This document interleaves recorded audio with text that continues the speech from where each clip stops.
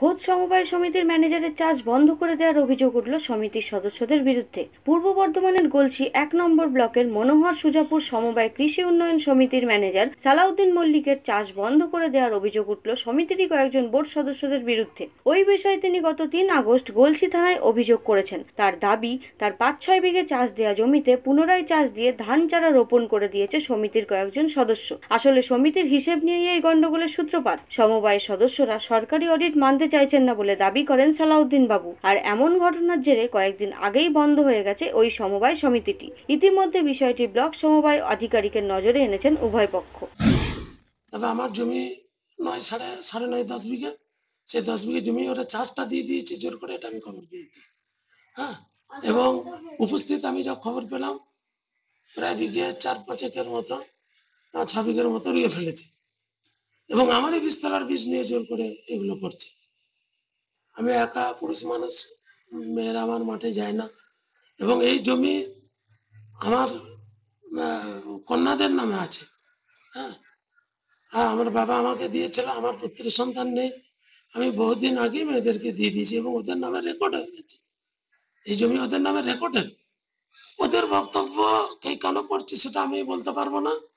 তবে যেহেতু আমি সমিতির ম্যানেজার আমার সমিতির হিসাব যদিও ওদের দেখার এখতিয়ারও নেই, কিছু নেই। তবু বললে যে, তুমি হাইস্পেড ছিলে? হ্যাঁ হিসাব দেখব। পরপর তিন দিন আমি সমবায় বসেছি এবং খুলে খুলে আমি সমস্ত কাগজ নামিয়ে দিয়েছি এবং এই বিষয়টা সুপারভাইজার সেও নেতৃত্ব দিয়ে বলেছেন হ্যাঁ আমরা দেখেছি, তুমি এইভাবে দেখিয়ে দিও। তবুও ওরা হঠাৎ বলে ফেলল যে, না, তোমার হিসাব আমরা মানছি না। এসব অডিট কি করে হয় আমাদের জানা আছে। অডিট আমরা মানবো না।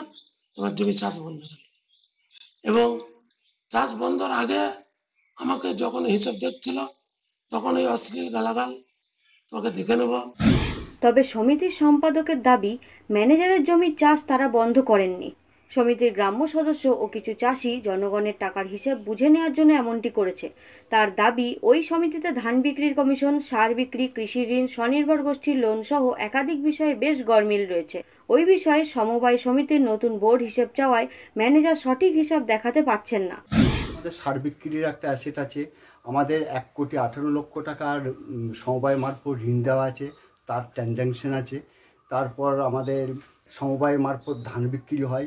তার একটা আমাদের প্রতি সিজনে যে ধান বিক্রি হয়, সেই ধানের একটা কমিশনের টাকা ঢুকে। তাতে করে আমাদের মনে হলো, বেশ কয়েক লক্ষ টাকা সমবায়ের তজরূপ হয়েছে। আমাদেরকে ডাউট হলো এবং গরমিল বলে মনে হলো। আমরা ওনাকে বললাম যে আচ্ছা অডিটটা আর একবার নতুন করে করিয়ে দেখানো হোক। গ্রামের কিছু চাষি ওই সমবায়ের হোল্ডার তারা ওনাকে নাকি বলেছেন যে, চাষ বন্ধ থাকবে, হ্যান ত্যান, এসব বলেছে।